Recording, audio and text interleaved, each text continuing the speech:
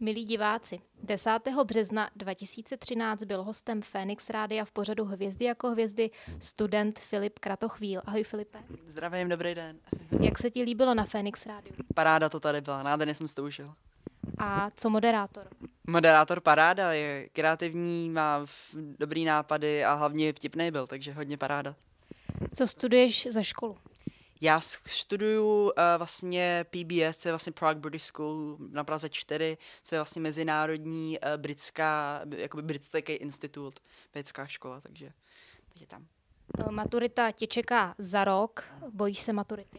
Tyjo, strašně se bojím maturity, ale nějak to zvládnu, musím. A už se učíš, nebo to necháváš na poslední chvíli?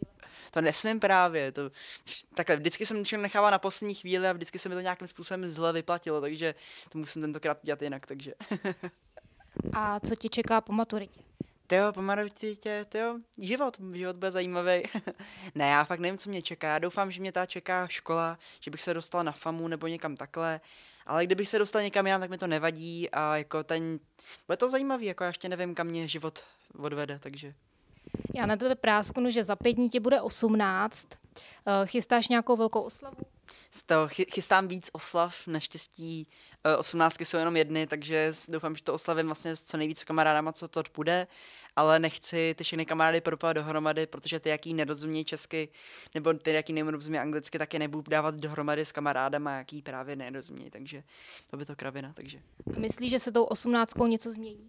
Vůbec nic. Jediné, co se změní, že konečně si budu moct vlastně sám sebe odvážet do školy, že budu mít řidičák konečně, ale jinak vůbec nic. Cítím se furt stejně blbě jako tehdy, takže. uh, Filipe, kde tě můžou naši diváci uh, najít? Máš nějaké své webové stránky nebo Facebook? Webové stránky nejsou, na Facebooku mě najdete normálně pod Filipem Kratochvílem a, a tak, takže já nevím, někde jinde asi by mě nenašli. Já mám teďka pro tebe dárek, mám pro tebe obrázek, který nakreslila Adélka z mateřské školky Pastelka v Roudnici nad Labem. Tak ukaž nám, ukaž nám obrázek na kameru a můžeš něco Adélce vzkázat. Ty jo, to je šikovná. Také jsem ne, také neumím malovat ani teďka, to musím přiznat, že kdybych něco měl takového namalovat, tak asi bych, asi bych nepochopil, co to bude. Ale tady to nádherně vidím, že to je Fénix, no.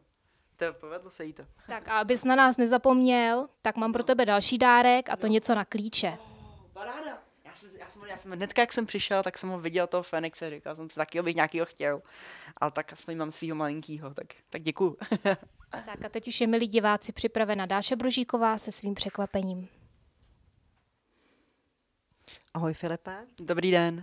Ahoj, já jsem ti tady přinesla za naše humanitární združení Perspektiva, ptáčka Fénixe. Paráda, děkuji moc, děkuji. Tak ať ti přinese nějaký štěstí a doufám, že se někdy na Fenix rádu sejdem. No, stoprocentně znova, těším se. Tak okay, děkuji. Ahoj. Ahoj, ahoj, zdravím.